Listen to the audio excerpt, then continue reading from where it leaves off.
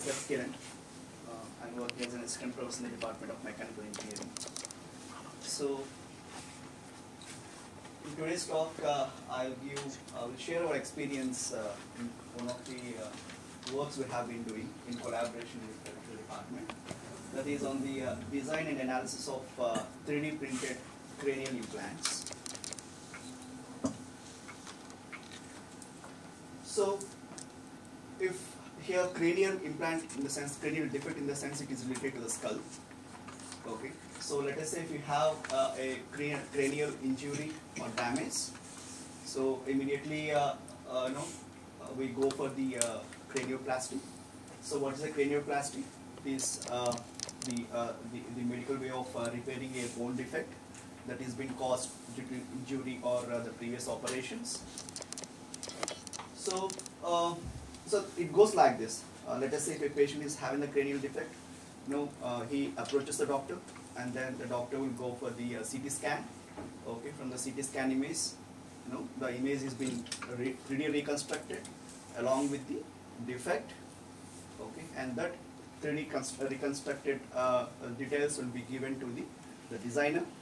Okay, the designer who is a specialized designer okay, related to uh, uh, the implant designs. So uh, he will take that information and try to work around to that to make the implant. So during this process, the designer will take you know, sufficient time depending upon the complexity. He may take one week time or 10 days time, okay, depending upon the complexity as well as the, uh, um, the schedules. So during this period, because of uh, uh, these delays, sometimes you know the uh, the skull will you know tries to uh, go for some kind of a self healing. Okay, once it has been self healed, whatever be the CAD details that you know that is being given to the uh, uh, to the designer, if he design based upon that, there is always a chance that you know the implant may get misfit. Okay, and so in our present work, we try to uh, put some effort to minimize this designing time. So this designing time we try to minimize with the help of you know the uh, the deep learning models. So once we get the uh, the CAD details, you know, we try to use these uh, uh, deep learning models in order to uh, know um, uh, the uh, optimize or come up with the optimized implant. So now once the design is been done, the next step is we need to select the suitable materials as well as the uh, manufacturing process. So there are various varieties of materials. Uh, so in the present work, we are concentrating on uh, the uh, biocompatible metallic material, that is titanium, Ti640. So the material is being decided. The next thing is the manufacturing process. Again, there are various manufacturing process, out of which uh, the you know uh, the present um, uh, you know, widely used process is the 3D printing of the implants. So here we have gone for the uh, 3D printing of the implants. So that is the manufacturing technique that is that is being used.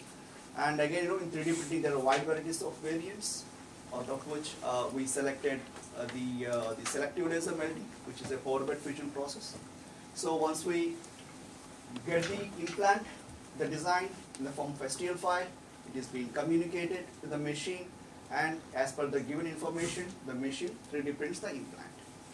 So now here the important thing is, okay, so for example, if I want to uh, manufacture a, a typical uh, no, cranial implant made of titanium of this size, I need to invest up to 50 to 60,000 60, by using self-implementing process. Okay, so if I want to optimize the process parameters for a uh, given implant and for a given material for a selective laser melting process, no, we can't do with the experimentation.